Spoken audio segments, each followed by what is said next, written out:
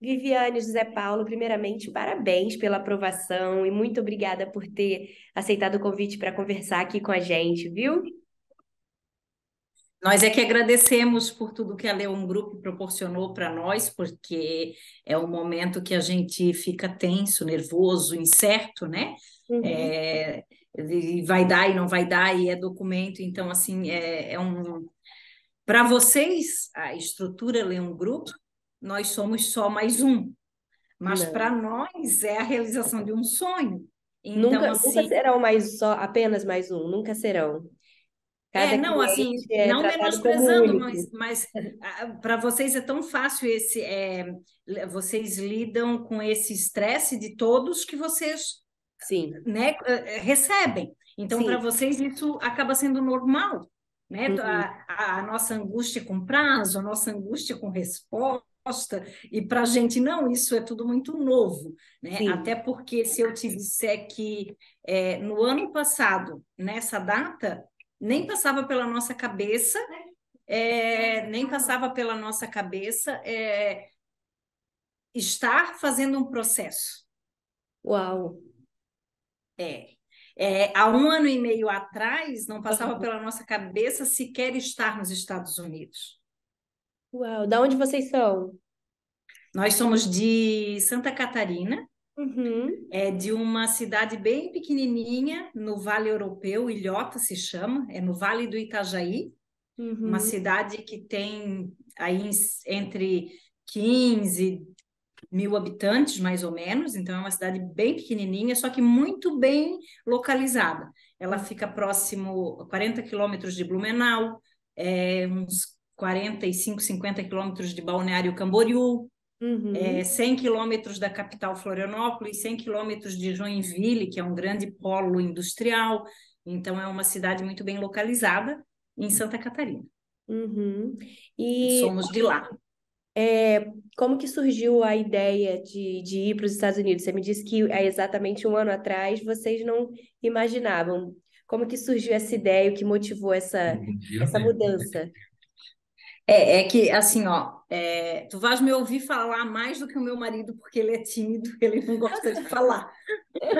Já ao contrário de mim, que amo falar, né? Então, é, nós, é, com tudo que aconteceu com pandemia e situação econômica, é, meu marido tinha uma empresa no Brasil, é, essa empresa passou por dificuldades econômicas e, e por conta disso a gente acabou se frustrando. Ele é, então decidimos que a gente precisava dar uma virada na vida. Não sabíamos como, mas a gente ia fazer alguma coisa. Nesse meio tempo, ele tem um filho do primeiro casamento que é, vive nos Estados Unidos e falou: "Ah, pai, por que que tu não vem para cá, né?" Tal. Até então a gente nem pensava em sair nem de ilhota, uhum. muito menos do Brasil. Uhum. E um, eu tenho um filho é, do meu primeiro casamento que ele é chefe de cozinha, ele fez a faculdade de gastronomia e ele sempre teve o sonho de morar, de ter uma experiência gastronômica fora do Brasil. Uhum. Aí ele já tinha passaporte, nós não tínhamos exatamente essa conversa foi em agosto de 2021. Uhum. Aí eu disse para ele: vamos tentar? Não, tu é louca, né? Nada disso. O passaporte ou visto? Era o passaporte mesmo? É, eu não tinha o passaporte, não, não tinha nada. Aí eu fiz, o, eu pedi em, em setembro de 2021 o passaporte. Uhum. Aí ele fez contra a vontade, tipo meio que amarrado. Aí fomos lá, fiz o meu passaporte, o dele e das crianças, o meu mais velho já tinha. É, o passaporte chegou final de outubro. Uhum. Aí, quando tá, vamos fazer o visto, não vamos, ele compra. Daí, quando chegou em dezembro, meu filho preencheu os formulários para o visto, só que na época, eu acho que por conta da pandemia, não estava tão acelerado. Então, ele preencheu em de, início de dezembro para março de 2022 uhum. o, o, a entrevista do, do, do, visto. Quando chegou na semana do Natal, a gente, ele entrou lá no, no site do consulado e tinha, dava de antecipar para dia 12 de janeiro. Ele disse, mãe, eu te antecipa, porque nós vamos estar em casa de férias, é, sem grana para ir para a praia, para aproveitar. Eu disse, então antecipe e vamos fazer isso de uma vez. Aí a gente foi, dia 12 de janeiro de 2022, fazer o visto em Porto Alegre. Aí, no dia que a gente veio do visto, no dia 12 à noite, o filho dele aqui dos Estados Unidos ligou para saber se tinha dado certo, se tinha conseguido, se não tinha. Aí a gente disse: não, conseguimos. Aí ele disse: ah, então eu vou presentear tu e o pai com uma viagem para vir me ver. Uau!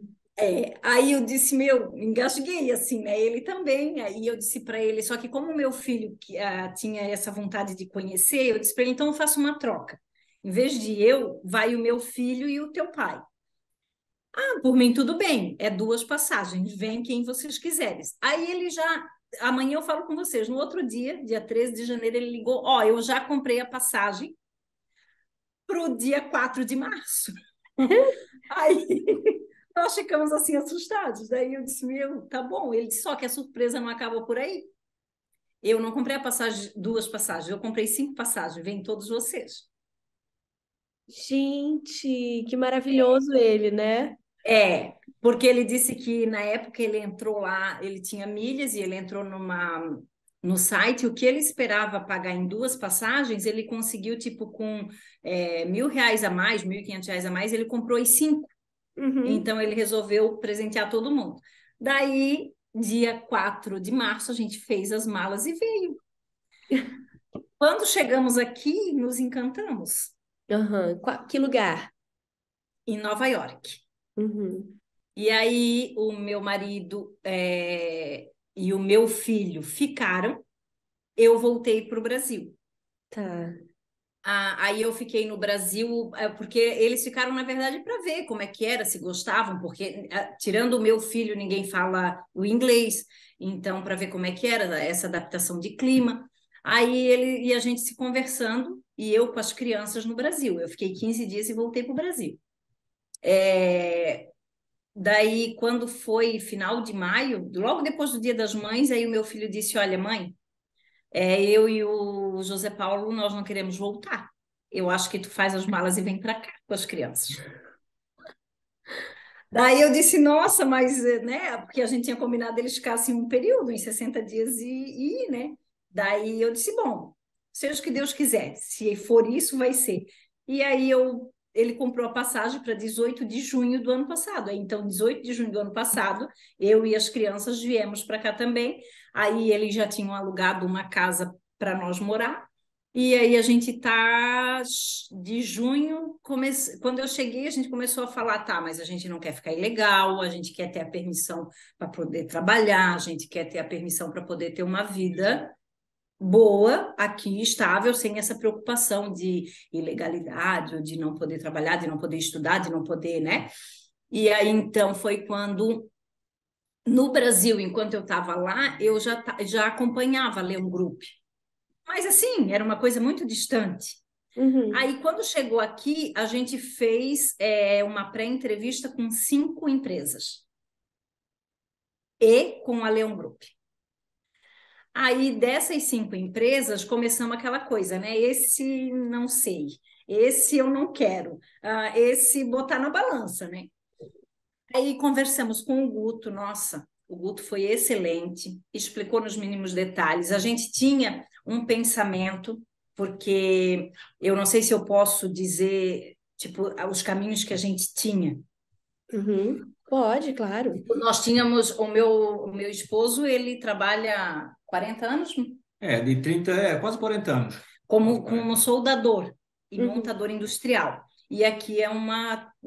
Trabalha-se muito com isso, porque tem muito ferro, né? muita metalúrgica. Uhum. Aí então tinha o caminho é, tanto de uma empresa fazer o processo para contratá-lo, como a, ele pelo profissional dele. Uhum. Então a gente foi, conversou com o Guto, o Guto falou tal, meio que direcionou nós para a parte profissional, por ser um processo mais rápido, de um ano e meio a dois anos e meio, três. para finalizar. E pela parte de contratação por, através de patrão, através de empresa, isso seria de três a cinco anos. Uhum. Então, a gente optou pelo menor tempo. E aí, aí aplicaram pelo, por você? Por, pelo José Paulo. Isso. Ah, por ele. Ah, por ele? Não, ele é o, é o contemplado. E aí a gente. E isso daí a gente conversou com o Guto, acho que em julho, início de julho. Aí o Guto disse: tá, eu vou pedir pro. pro... Daí eu queria saber custo. Daí ele disse: eu vou pedir para o comercial entrar em contato contigo para vocês conversar, porque eu ainda estava insegura. É, era tudo muito novo para nós, né? Uhum. E quando o Wagner entrou em contato comigo, ele foi a, a, assim a virada de chave que precisava. O Wagner é um profissional, é, assim, eu não, não saberia te dizer, assim, qualificar o que ele foi para nós, sabe? Uhum. Ele foi a pessoa que me é, deu segurança, ele foi a pessoa que soube me escutar na hora da angústia. Ah, ele assim falou de uma forma bem clara, bem popular, sabe? É, dos caminhos, de como poderia ser, assim, até de caminhos de como eu poderia conseguir certos documentos, já que eu já estava aqui. Então, assim, ó, o Wagner, o Guto foi excelente, mas o Wagner foi o que fez eu decidir pela Leão Group. Uau. Sabe? Uhum. É, ele foi assim a virada de chave. Uhum. Eu tenho assim, é, sou muito grata a Leão Group, mas o Wagner assim para mim ele é o, o topo, sabe? Eu uhum. posso até estar tá sendo injusta com o Guto, né? Porque eu sei que estou com todo o processo, eu sei que o Wagner é comercial, mas assim, no nosso caso, o uhum. Wagner foi, sabe, a virada da chave. E aí uhum. falando com o Wagner, eu conversei com ele à noite, era um valor que Tipo, vale a pena pela segurança, mas é um valor alto. Sim. É um valor que a gente tem que querer muito para ti realmente fazer. E assim, aqui eh, no Brasil eu tinha casa, eu tinha móveis, eu tinha uma vida, então tudo ficou lá. Aqui a gente começou do zero. Eu tive que comprar desde garfo até roupa de cama, roupa de banho, roupa, porque tudo, a gente faz a mudança com uma mala. Uhum. Ele fez uma mudança sem nem trazer o que queria, porque ele veio e ficou. Eu ainda pude escolher o passear que... e ficou. É, eu vim para passear, não vim para ficar, né? Uhum. Eu vim para passear. Mas aí eu cheguei aqui, eu vi que ia ser difícil, porque eu tenho, vou fazer 60 anos. Então, a vida toda lá no Brasil. E lá é, é, é aí no Brasil, é, é, como é que eu vou dizer para ti assim, é, é tudo diferente. Tu vai no restaurante, tu vai numa lanchonete, tu vai em qualquer lugar, é, é, é português, é, é, a nossa língua. E aqui tu não conhece nada. Tu sabe o que pedir, porque a gente é, não fala o idioma. Sabe? Eu, eu, eu cheguei aqui, eu ia, eu ia comer alguma coisa, não sabia pedir, eu, eu comia qualquer coisa, porque e eu quase me matava, porque era só pimenta, entendeu? E eu não sou gente de comer pimenta, mas então, até nesse ponto, eu tinha que fazer isso tudo. Eu sofri bastante, mas, graças a Deus, estou me adaptando. Temos bem, agradecendo aí ao grupo por, por, né, por ter nos ajudado. E eu acho que vai dar tudo certo. Eu só, eu só achei assim, e como eu já tô, vou fazer 60 anos, eu pensei assim, pô, só levar mais 5 anos para ver um processo de, de, de papel para mim poder ir no Brasil e voltar e. Não sei se vai dar muito tempo, né? Mas a gente não tem 20 ou 30 anos, a gente já tem 60 anos.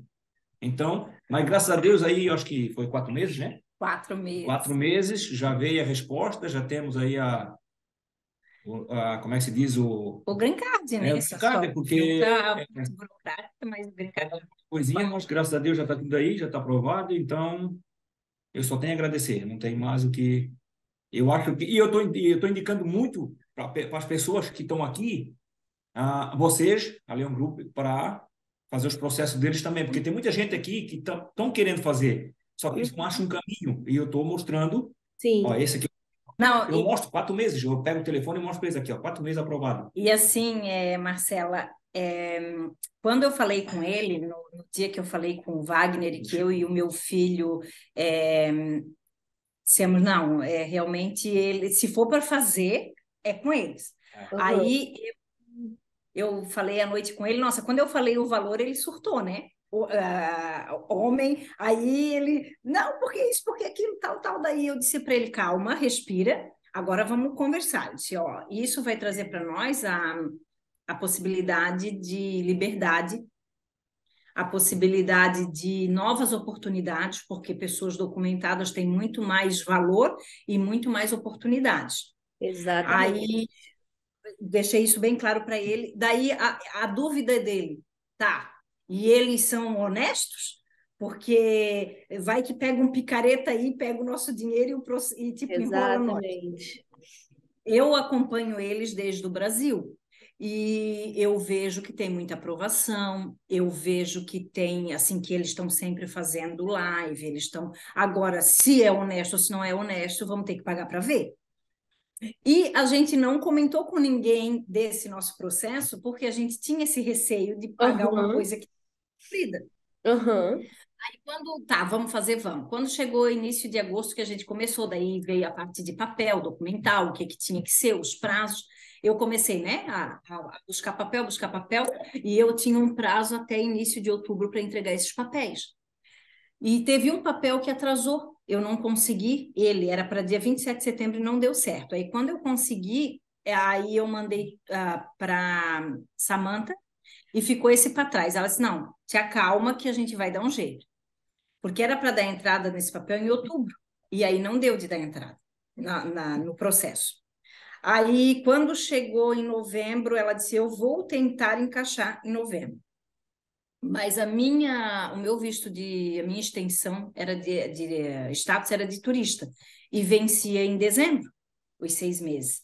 Aí eu disse, poxa, vai ficar caro se a gente tiver que pagar tudo isso, as taxas, e ainda eu ter que pagar mais uma extensão de turismo para mim. Daí ela disse, não, a gente vai dar entrada em novembro e vamos ver se a gente consegue não fazer essa parte de extensão. Uhum. Eu sei que quando chegou dia 25 de novembro, ela mandou os papéis para ele assinar para mim, né? As crianças tal. Aí fizemos a papelada toda. Quando chegou dia 30 de novembro, ela me ligou, ela disse: Ó, dei entrada hoje e mandou a foto do, do, do documento. Aí eu disse para ele: Bom, se eles estão enganando, eles enganam bem, porque o papel foi lá para o órgão lá americano. Aí eu liguei para o Wagner. Eu disse, ô oh, Wagner, tu não estás enganando nós, né, Wagner? Esse dinheiro vai mesmo para os advogados tal. Ele disse, deixa de ser bobo, menina, nós somos gente séria. então tá bom. Aí passou. E a gente nem, não me preocupei mais com isso e não falei mais com isso. Quando chegou dia 27 de dezembro, veio uma carta de que o nosso papel é, tinha sido tinha sido dado é, recebido, tipo protocolado é, pelo órgão lá. Daí eu disse, nossa, tipo, o papel veio, então do, o documento foi. Quando chegou dia 5 de janeiro, nós recebemos uma carta para fazer a biometria. Aí eu disse, meu, a biometria já? Mas vamos fazer dia, era dia 20. Dia 20 de janeiro nós fomos daí, na, no endereço que eles determinaram, fazer a biometria. Mas a gente foi, assim, achando que, tipo, isso era só uma partezinha do processo, a gente não sabia que é porque estava adiantado. Ah, então, eu fizemos a biometria dia 20 e ficamos ali no aguardo, assim, de daqui. Uhum. Aí a gente pensava sempre assim, tomara que o Combocard venha logo, que tem até outro nome, mas a gente conhece por Combocard, que seria Sim. a permissão de trabalho, de viagem. Né? Viagem, né? a gente chama de Combocard. Tomara que venha, porque assim, para nós o que mais pegava era não poder ir no Brasil. Aí, quando chegou dia 26 de março, eu estava saindo para ir pegar as crianças na escola. Cheguei, a carta no correio, peguei, fui. Quando eu voltei, botei em cima da mesa, mas bem desligada, porque achei até que era uma carta assim de conta de energia, de internet, né? Daí o meu filho chegou em casa, ele disse: Mãe, tu visse isso daqui? Eu disse: Não, faço ideia, filho, porque a mãe não fala inglês, não sei o que, que é. Aí ele pegou, leu, ele disse: Mãe, isso aqui é aprovação? Eu disse: Não, isso é bobo. parece que a aprovação em, em quatro meses, menos de quatro meses. É aprovação. Daí entramos no site, no dia seguinte mandei uma mensagem para a Samanta, ela disse: sim, é aprovação, vocês foram aprovados. Então, para nós foi assim uma surpresa tão grande e uma felicidade e uma satisfação, porque a gente esperava só um, o combo card e nós já estava feliz. Uhum. A aprovação veio antes. Veio antes, sabe? E qual, então, e qual assim, foi a sensação? Como que vocês se sentiram? Nossa. Não tem como explicar? Não tem como explicar. É, é, é como, vou dizer assim para ti, se tu ganhasse numa loto. Entendeu? Porque é, eu achava que porque eles dizem que aqui é muito difícil esse tipo de coisa, e é, porque tem muita gente aqui, a maioria, né, que estão aqui, eles não conseguem, eles não conseguem esse tipo de coisa, entendeu? É muito difícil. E gastam dinheiro e vão gastando dinheiro e eles não conseguem. É, é quatro, cinco, oito anos e não conseguem. Eles já falaram para mim, eu, eu, trabalho com gente que já estão há, há, há, anos tentando e não conseguem, eles não conseguem fazer, entendeu? Uhum. E aí eu mostro, aí eu pego o telefone, aí eu tenho orgulho de pegar o é, telefone é, e mostrar. Aí, eu mostro eles. Aqui, ó. Tá aqui, aqui é a aprovação, ó. Depois disso, a gente Aí, fala e indica para todo mundo, é, sabe? Aqueles, aqueles que vejam o que eu estou mostrando, eles querem saber qual advogado, aonde que tá, onde é que é isso aí. Eu digo, tá aqui, ó. É esse, esse endereço aqui, esse site. Entro lá e falo com eles. Vocês podem ver que está chegando bastante gente aí pedindo, é, é, falando castelhano, falando espanhol, é. é. pedindo por entrevista, porque é o pessoal que a gente indicou e a grande maioria fala o espanhol. Ah, é, porque aqui na região onde a gente mora, não é uma colônia italiana, russa e mexicana. Entendi. Então, é, brasileiro que fala português e que é só nós. Quando a gente fala na rua, eles param tudo e ficam olhando. Não é uma região de, de brasileiro. Então, a gente contacta vocês, geralmente fala o espanhol. Que incrível, eu fico muito feliz. É, Paula, você já está falando inglês ou ainda está comendo comida com pimenta? Não, não, não, não. A comida com pimenta eu parei de comer, porque eu, eu aprendi um pouquinho, estou aprendendo um pouquinho a. Ah, tá. o, é diz, o espanhol. O espanhol, porque eu trabalho com eles, entendeu? Porque brasileiro só tem eu e meu filho. Uhum. Eu, o resto é costarriquenho, é, é, é, como é que se diz? É, é hondurenho, é, é, é, do México, é como é que eu vou dizer, é do aquele da Colômbia. Da Colômbia. É, então é uma é uma Muito, mistura. É da América Central, ali os latinos, né? Então porque na verdade eles não falam, né? Eles eles só fazem um como é que eu vou dizer para ti assim, tu não entender, eles fazem uma coisa que tu não entende. Eles falam espanhol, só que mesmo sendo espanhol, é. tem dialetos diferentes conforme o país. É, entre eles eles conversam diferente. Então, e comigo eles conversam de outro tipo. Eles falam mais devagar, mais pausado, sabe, para a gente poder entender eles. Então, como ele está diariamente com eles, então ele está uhum. começando a falar o espanhol. É. Ai, que incrível, mesmo... gente. Fico muito, muito, muito feliz. Que história que história incrível é. de vocês. É, para a gente é uma honra né, fazer parte de tudo isso. Parabéns mais uma vez. Desfrutem muito obrigado. Desse, desse sonho realizado. Sejam muito felizes aí. E mais uma vez, muito obrigada por terem aceitado gravar aqui com a gente, parar esse tempinho. A gente sabe que vocês estão aí na correria parar aqui para falar com a gente. Realmente, é, a gente agradece muito, a gente fica muito grato, viu, com esse carinho que vocês têm com a gente. Contem sempre. É, e olha, for, todos são profissionais assim de excelência, né? A Samanta, é, a Rafaela, é, é, que foi passando a cada fase do processo, João, uhum. né? Eu falei com várias pessoas, então assim, todas elas são excelentes. Uh, o Wagner ganhou meu coração, meu marido está aqui do meu lado, mas o Wagner ganhou meu coração. Porque... a cara deles, a Paula está até com ciúme. e o doutor Léo, não sei, eu nunca falei com ele, eu acompanho ele nas lives, né? Na, uhum. na parte ali de quando ele sempre faz live, mas me parece também uma pessoa sensacional, de um conhecimento incrível. Né? Então, assim, tem pessoas que, quando viram a nossa aprovação, vieram no meu direct, ei, deu certo, é verdade, sabe? Porque eu acho que, e eu passei por isso, de perguntar, ei, não é comprada essas entrevistas, né? Uhum. de coisa na cabeça da gente, né? Será que não é enrolação? Cheguei a questionar o Guto, eu disse, o Guto, tá, mas eu estou pagando parcelado. Se, se porventura o meu combo card chegar antes de eu terminar de pagar o processo, mesmo assim vocês me liberam? Ou, ou eu tenho que terminar de pagar para eu poder ter acesso ao documento? Ele disse, não, se vai direto para ti, nem passa por mim, é, né, não tem nada a ver o pagamento com a aprovação. Então, hoje, nós podemos dizer que tudo isso é verdade. Uhum. A entrevista é verdadeira, uhum. vocês são fantásticos.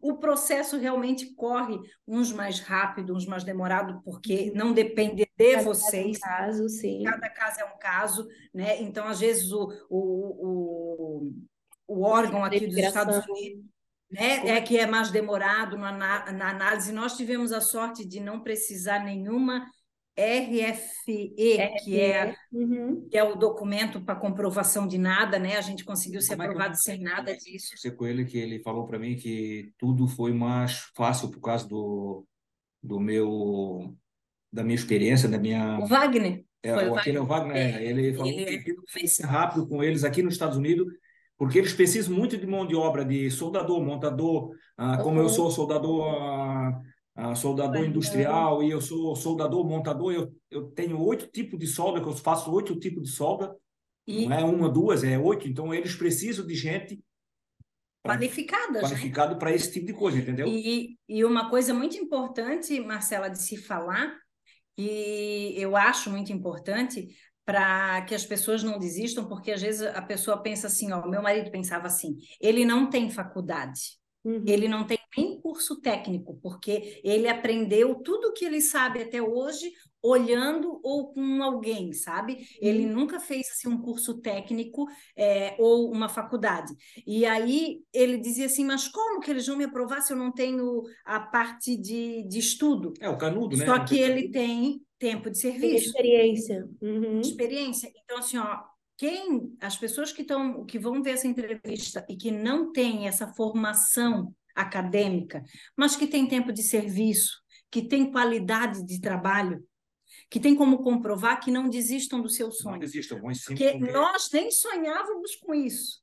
E estamos uhum. aqui, dá certo. Então, quem tem esse sonho, ou quem acha que realmente vale a pena dar essa virada na vida, tentar novas oportunidades, essas pessoas que vão atrás, que falem com pessoas qualificadas como vocês e que busquem esses documentos. É uma parte meia chata, meia trabalhosa, mas vale a pena cada centavo, cada noite mal dormida, cada fio de cabelo branco e cada documento é, que a gente tem que ir atrás, porque assim as oportunidades aqui são realmente muitas é difícil? É, não é fácil.